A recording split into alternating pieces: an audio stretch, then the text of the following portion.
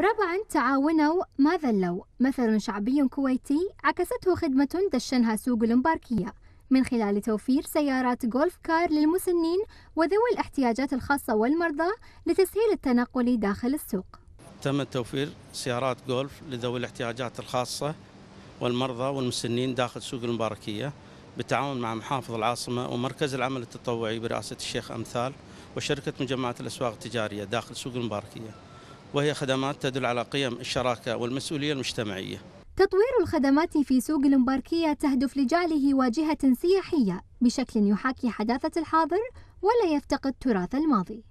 هذه خطوة عملية للكويت تترجم أنها بالفعل مركز عمل إنساني وسنستمر إن شاء الله في تطوير السوق من خلال خدمات سيتم إنجازها قريبا مثل تظليل شارع عبد الله السالم وتوفير الماء البارد في أرجاء السوق وتخصيص ثلاث مواقع دورة لدورات المياه.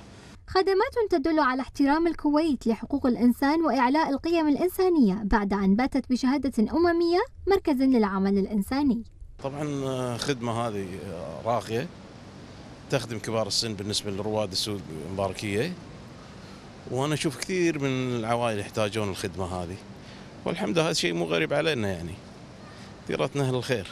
راح تلقون الأجر من رب العالمين وهذه خدمة إنسانية والسوق المباركية سوق كبير يعني ممنوع فيه السيارات إنها تدش.